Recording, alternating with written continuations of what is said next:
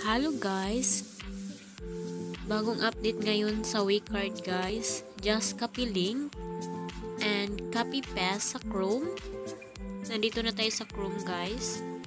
And tapos na kasi ako nakapag-download guys. So ito na yung lumabas guys. Download again.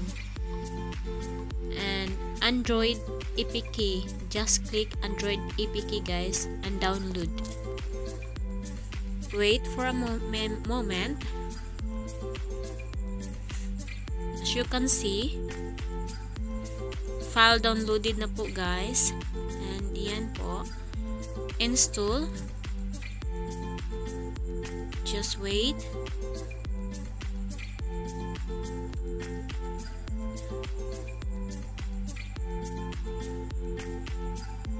Tapos na po guys. Open tayo.